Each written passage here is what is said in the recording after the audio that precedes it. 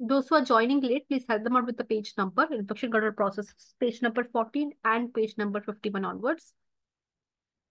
So infection control process, there are two main uh, faculties here, standard precautions and transmission-based precautions. Any transmission of infection in any hospitals or healthcare facility can be prevented and controlled through the application of these two categories of precautions. And this should be applied to all patients all the times, okay? Irrespective of whatever is the diagnosis, infectious status, okay? Anything specific to any mode of uh, transmission or not, but all the patients should be handled through these precautions in one or the other way. So standard precautions, it must be applied to all patients all the times, regardless of the diagnosis and infection status. Okay, just uh, you have to understand that just uh, just have an understanding that any patient could be contagious, any patient is infectious. So automatically you will use standard precautions to prevent the spread of infection. And these are designed to reduce the risk of transmission of microorganisms from both recognized and unrecognized sources of infection in the hospital. So even though you do not know what is the source of infection, till then standard precautions has to be used. After knowing the source of infection, transmission-based precautions are used, okay? Uh, like airborne droplet contact, okay? These are the specific mode of transmission. Once you know the source of infection, you can apply the transmission-based precautions. So these are specific precautions which are required to prevent or interrupt transmission of any pathogen. Pathogen means infection-causing microorganism within the hospital. So they are specific in nature. Okay, they only work for that specific kind of mode of transmission. So standard precautions, consider all patients potentially infectious. Consider everyone who is visiting your hospital as a patient, consider them as potentially infectious assume that all blood, all body fluids and tissue are potentially infectious. So never touch any blood, body fluid, spill tissue without wearing gloves. Okay. Assume all unsterile needles and sharps to be contaminated. Okay. So this is where you where you have to assume everything pertaining to patient's body, body fluid, blood, syringes unused or used. Okay, it is open okay, then it has to be assumed that it is contaminated. So these work practices are essential to provide high level of protection to the patients as well as to the healthcare workers and visitors when you follow these standard precautions. So these precautions should be implemented when you know, as a healthcare practitioner, you know any of the following is going to happen. Okay. When you are going to be in contact with either blood or the patient's body fluid, or if you're going to directly touch the wound of the patient, non-intact skin, okay, that is wound or any opening, any rash, okay, if you're going to touch that, any mucous membrane of the patient's body, if you are going to touch that, okay, remember to always to use standard precautions. So what are standard precautions? Wash hands. Five moments of hand washing before and after all patient and, and any specimen contact, hand washing has to be followed. Handle all the blood of the patients as potentially infectious. Even if you're withdrawing blood, okay, PPE has to be worn. Wear gloves for protection, potential contact with the blood and body fluids. Prevent needle stick or sharp injuries as much as possible. So, so handle needles, needles with care. Don't break them. Don't recap them. Wear personal protective equipment while handling blood and body fluids. Handle all linen soiled with blood and other body secretions as potentially infectious. Process all laboratory specimens as potentially infectious. Okay, anything that comes to the laboratory as specimen form should not be touched with bare hands. Wear a mask for TB and other contagious respiratory infections. Any respiratory infection, if you are sure that patient is coughing, sputum is being produced, you have to wear a mask while dealing with the patient. Correctly process instruments and patient care equipment. Maintain environmental cleanliness and manage spills as per prot protocol. Every spills have their own formula and protocol, how to manage it. In the textbook, they have given in, in tables and all, you can uh, read the spill, spillage chapter. Follow proper waste disposal practices, biomedical waste management. So in summary of standard precautions, perform hand hygiene before and after every patient contact, clean and reprocess any shared patient equipment, okay, like stethoscope and all. If you have used it on one patient, before using it on another patient, just wipe the stethoscope, which is going to touch the patient's body, that area with the 70% alcohol spirit. Use personal protective equipment when risk of body fluid exposure is anticipated. Wear mask, eye shield, okay? Gloves, apron. Follow respiratory and cough etiquette, hygiene. Always close your nose and mouth while you're sneezing. Standard precaution summary, use and dispose of sharps safely. Safe disposal of sharps in a puncture-proof, leakage-proof container. Use antiseptic technique always, okay, in any clinical procedure. Perform routine environmental cleaning.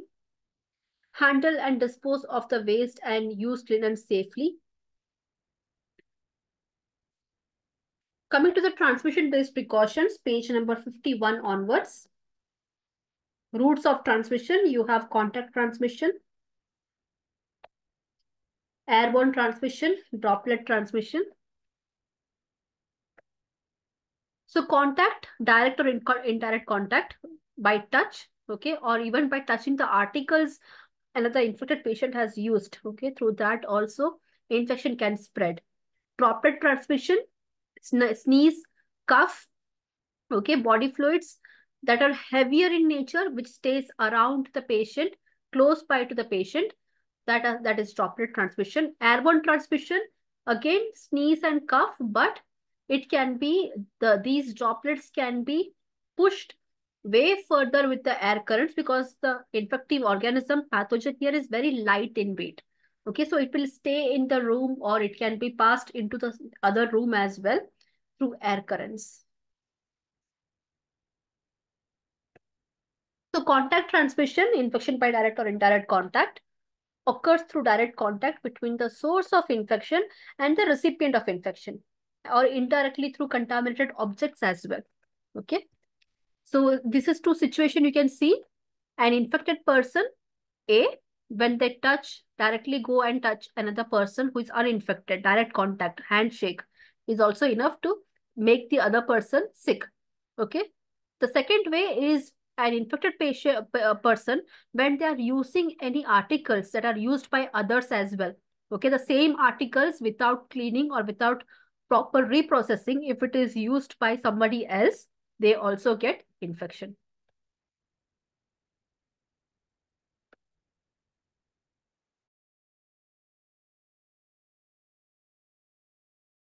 So how do you manage the patients with contact transmission? So place the patient in examination room to do the physical examination to check the rectify the signs and symptoms. Perform hand hygiene before and after touching the patient. Wear gloves. After hand wa washing, wear gloves. Uh, examine the patient. After examination, dispose of the gloves. Wash hands again. Okay. Use personal protective equipments like gloves and gown while you are dealing with direct contact transmission clean and disinfect the examination room accordingly. Okay. And once the disinfection is done, then you invite other patients into the room. Okay. Separate bathroom for the patients who are who have diarrhea, cholera, okay, suspected with cholera, diarrhea like um, uh, infectious conditions. In that case, separate bathroom has to be given to the patients who are infectious. Single room is preferred but given the state, uh, the stature of Indian hospitals, public health hospitals, it's better to cohort the patients. All the patients who are suffering from the same kind of infection are put in the same ward. Limit the movement and transport of the patient as much as possible.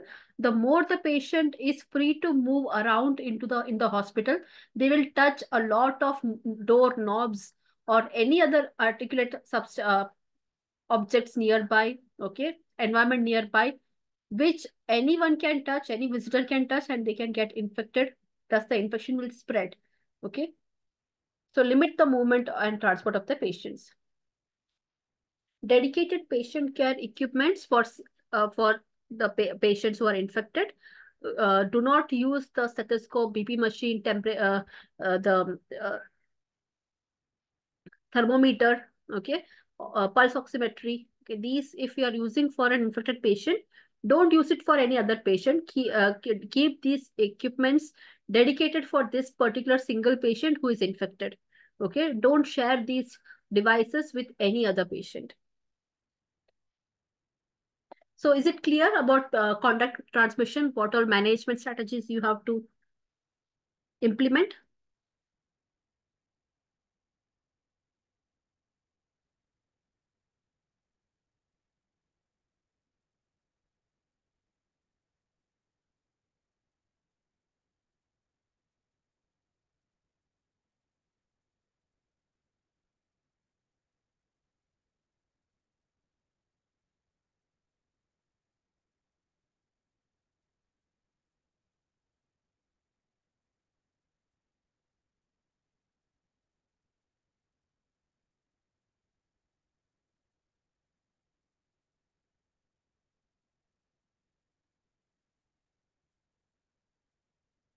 Next is infection by airborne transmission.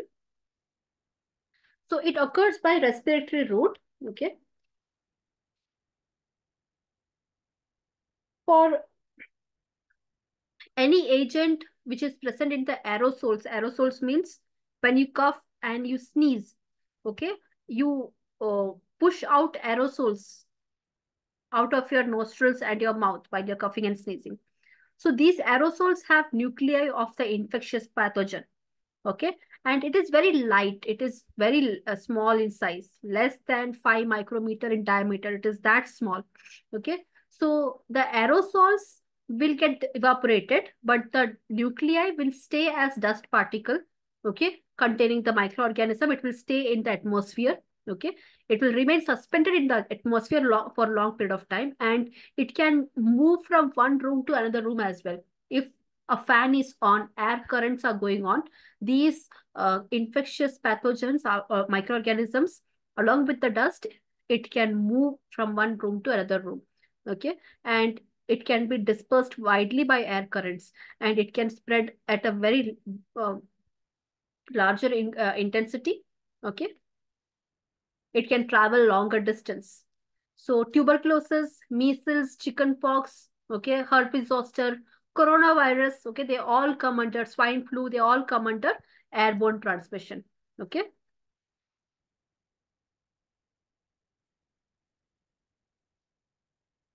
So you can see here, when the droplets are heavy, when the droplets particles are heavy, bigger than 10 micrometer in size, they cannot uh, remain be remain suspended in the air. They fall down. Okay, they fall down very close to the patient. This is droplet. But airborne, you can see the droplet sizes are so light. Okay, less than five micrometer in diameter. They are so lightweight and even if the aerosols are getting evaporated, but these lightweight pathogens will stick to the dust particles in the atmosphere and it can travel farther further distance and it can get anyone infected okay? Hundreds of meters away from the patient it can get dispersed. So management of patient who has an airborne transmission respiratory protection has to be given. N95 mask n97 mask can be used. It is ideal to use these kind of mask for pulmonary tuberculosis specifically. Surgical mask can be used if a patient is suffering from meningococcal meningitis. If it is a non-immune or pregnant staff, okay, do not allow them to work in the uh, ward where airborne transmission patients are admitted. Non-immune staff whose immunity is low and pregnant staff should not be posted here persons immune with varicella and uh, rubella, ones who have any staff who have got chickenpox, okay?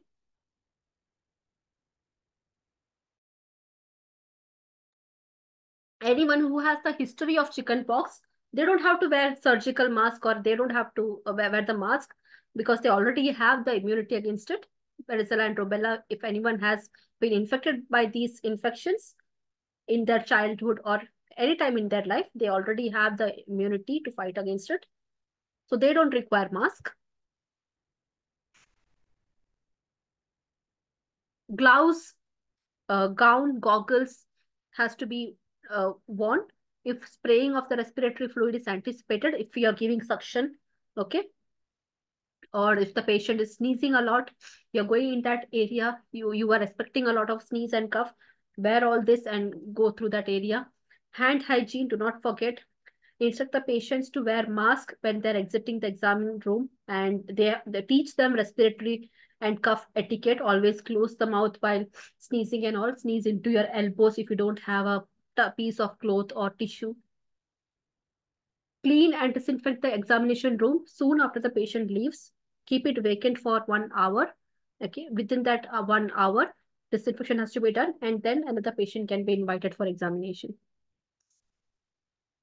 Separate entrance to the facility, specifically if it is a TB cases you are handling. TB patients have a separate entrance to the facility they can uh, you can accommodate them in airborne infection control isolation room, negative pressure room. Okay. Uh, transfer the patients to facilities which can manage such cases like isolation hospitals. Now we now we do have isolation hospitals as well. Okay, tuber uh, uh, regional tuber TB care center is available. Isolation hospitals came up after COVID nineteen. Okay, so uh, these airborne transmission cases can be handled well in these specific facilities. Okay if you do not have the resources to manage them. Negative pressure rooms is a must to keep the airborne infectious patients. Self-closing doors, okay? As soon as somebody leaves the room, doors should close automatically because if you open the door uh, knob, knobs and all, okay, the, you can spread the infection also. Ventilation and exhaust fans because it, uh, it will make the room in negative pressure. Doors and windows of this isolation room will always remain closed and limit the movement and transport of patients as well. Okay, any infectious patients, you have to limit their movement and transport. Next, infection by droplet transmission occurs through droplets uh, that are larger than 5 micrometer in size. So droplets generated from the infected patients, it, it is propelled to a short distance through air. Okay, and because of its weight, it will fall down. It cannot remain suspended in the air. So it applies to patients who have viral infections like influenza, adenovirus, pneumovirus. Bordetella pertussis is also a droplet infection. Neisseria, Neisseria meningitis, streptococcal infections. So again, you can see here how droplet infection is different from airborne infection droplets are heavier, closer to the pa patient. Okay, at least 20 feet closer to the patient in the circumference. Uh, it is uh, when if you are if you are approaching if, as a nurse or a healthcare practitioner, if you're approaching the patient, if you're going to take care of the patient within this distance, you have to wear a mask. Okay, but if you are going to be far away from the patient, you don't have to wear mask. Okay, in case of droplet infection. So prioritize the patients with excessive cough and sputum production, even when it's a it's a common entrance but you notice there is a patient who is coughing a lot a lot of uh, uh, sputum production is also seen just give me one moment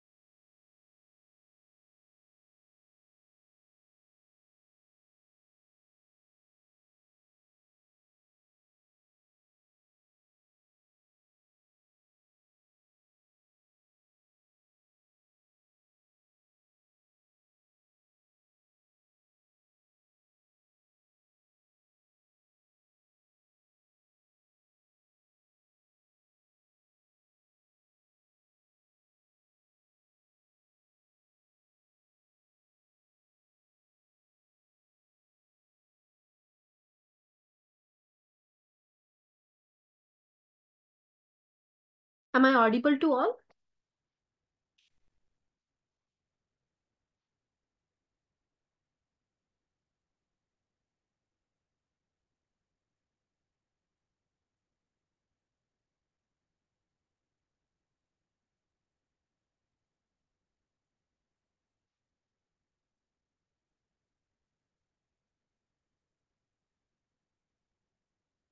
So yeah, even if you see any patient who is entering from the main entrance, but you notice them, they have a lot of sputum production, they're coughing excessively, reach out to them, separate them from the crowd, okay?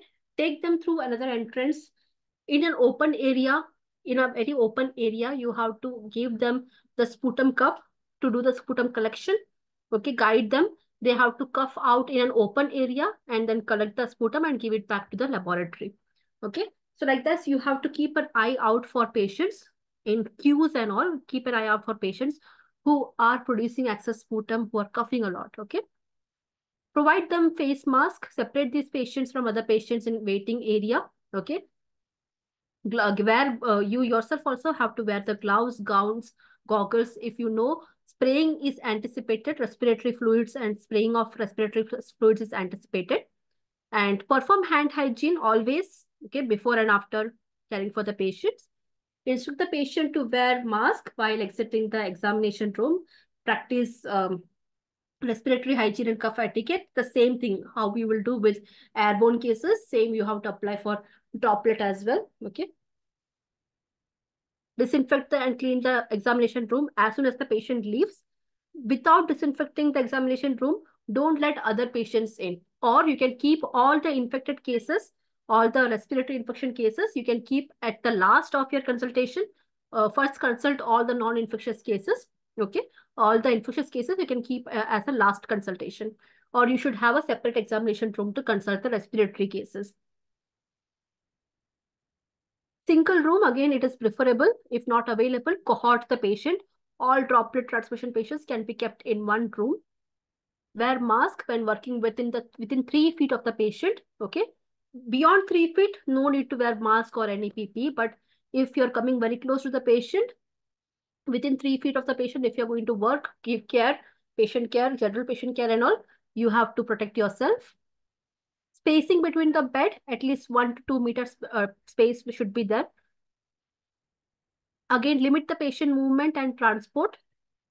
Dedicated use of patient care equipment to a single patient. Don't use this single patient's equipment uh, the patient who has droplet infection don't use their uh, patient care equipment, general patient care equipment for other patients. So that's about the